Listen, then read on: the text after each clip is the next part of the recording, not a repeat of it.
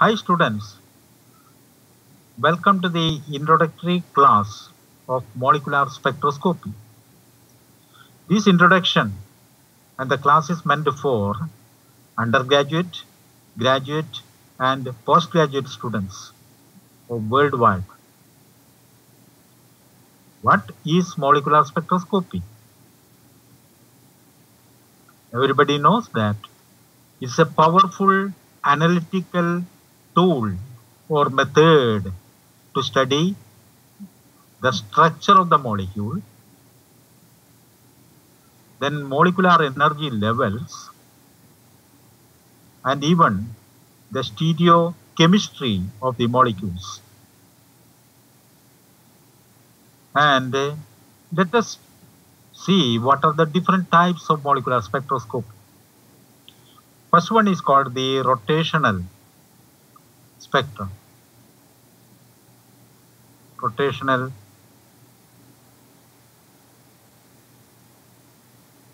spectroscopy or rotational spectra. This rotational spectra gives valuable information about the bond length. Bond length, what is bond length?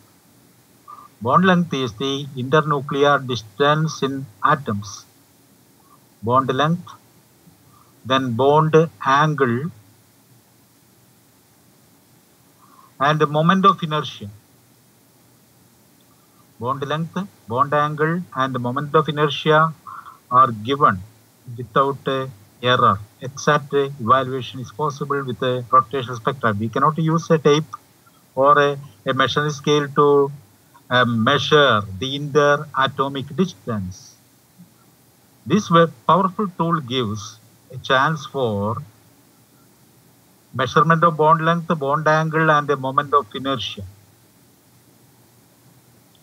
Now, second type of spectra is called the vibrational spectra. Vibrational spectra.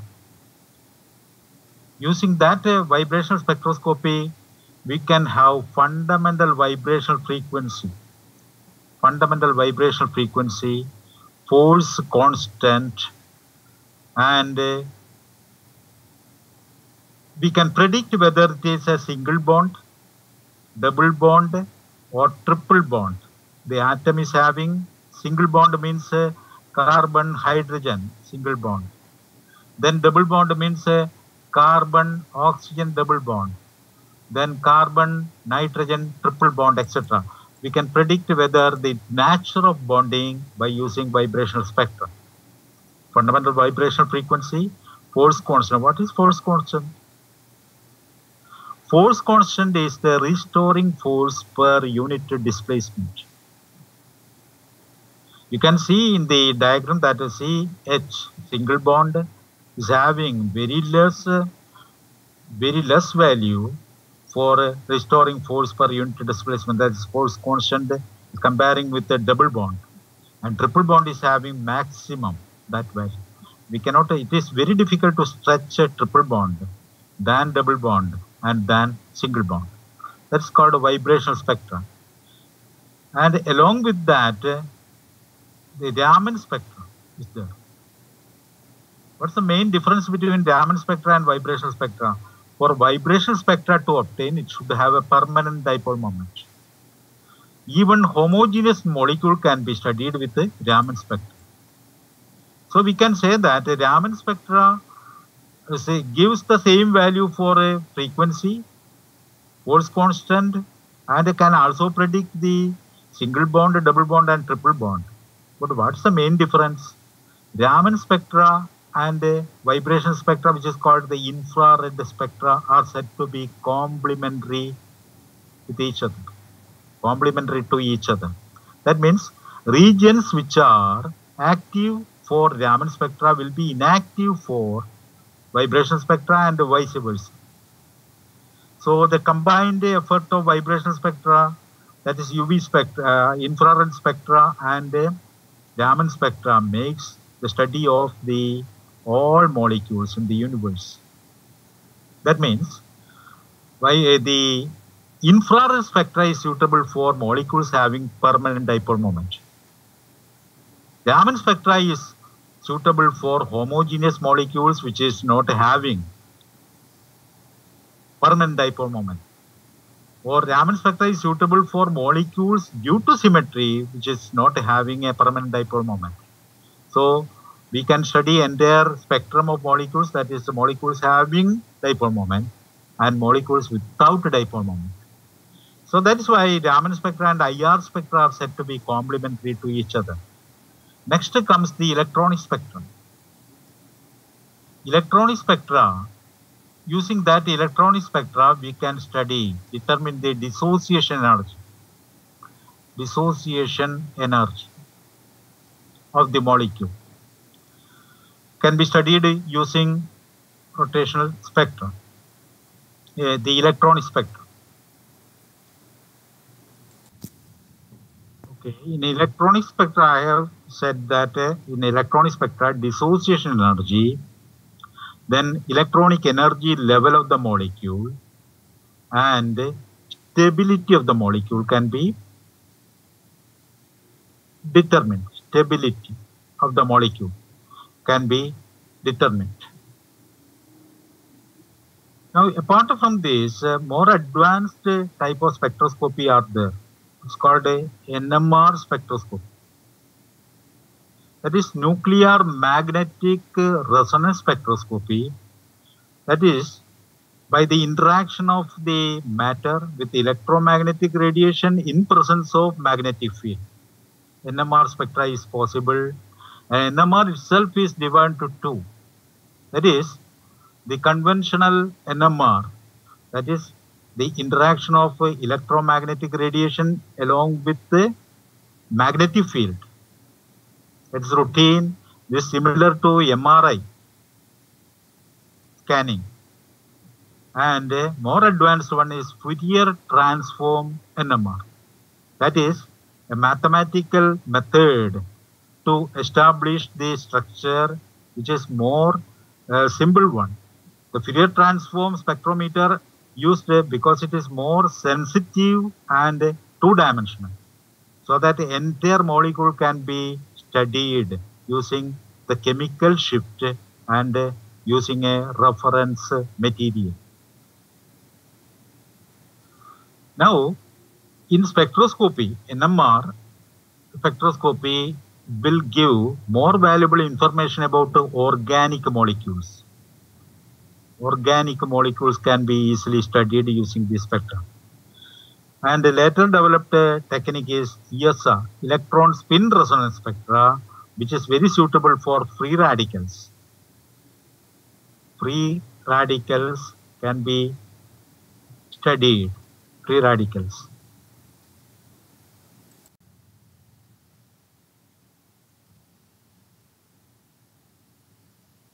Free radicals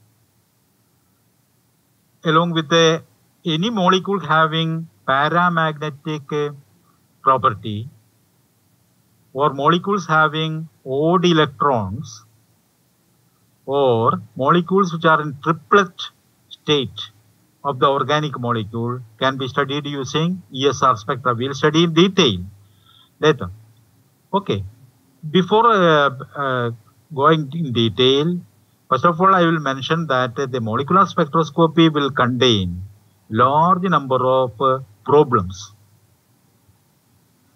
This type of uh, problems are almost complicated also. So that what should be done? This problem can be uh, solved by using computer installed with a mass application. Namely, the mass application using will be, I'll repeat, the problems can be solved using a computer installed with the mass application, namely the 4 one, 4 I have written here. Here the spectroscopic transition is uh, determined by a particular property called selection rule.